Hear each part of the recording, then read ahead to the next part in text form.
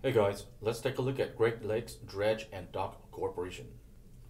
Headquartered in Houston, Texas, the industry is engineering and construction. Founded in 1890. And the CEO is Lasse Petterson. The ticker is letter GLDD. Current share $12.14. Market cap 802 million. And here's the historical stock price. Enjoy learning about stocks just like me? Hit the follow button.